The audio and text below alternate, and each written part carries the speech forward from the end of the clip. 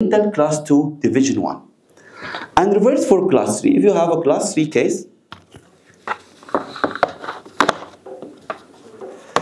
and in class 3 you have reversed overjet reversed overjet and in some situation difficult situation كلاس 2 أها عباره عن بيسويها ما يسوي retraction retraction distalization مم. depends on the wire. حاطط واير راوند هيعملوا كده. ويعملوا اكستروجن كمان. حاطط واير ريكتانجولار وهيفي هيتحركوا بدري موفمنت هو معتمد كل الحركة على الواير أوكي يعني مثلا هنا من غير واير وانت بتعمل فورس بيحصل كده.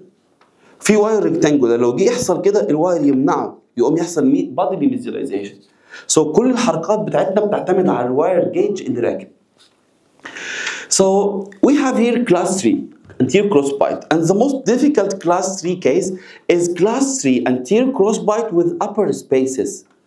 And the problem that if you put power chain on the upper arch, the upper teeth will be retruded and the posterior teeth will be mesialized, but the reverse overjet start to increase.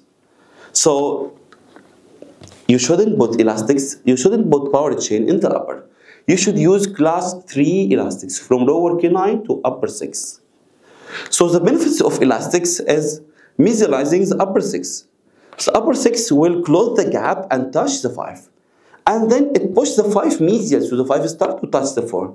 And the 4 start to touch the canine, and then canine will push the incisors, so flaring will happen to the incisors and you should put large rectangular arch wire to prevent the anterior teeth from moving upward to achieve like a little bit bodily movement. And it's important to treat a mild class 3 or edge-to-edge cases. And the effect of elastics to the lower, you will start to move the canine distally. And also if you have spacing in the lower and you put power chain into the lower arch, it's important in class 3 to use class 3 elastic with the power chain. It means power chain are retracting the anterior and the class 3 elastics increasing the anchorage. So the anterior teeth will move distal more than the posterior teeth movement medially. So what will happen? The anterior teeth will start to go back and you are ligating all the lower so they are all distalized, okay? So it seems like the force on the canine will distalize premolars and the premolars will distalize the molars. So you can see here how the molar will move from the force of elastics.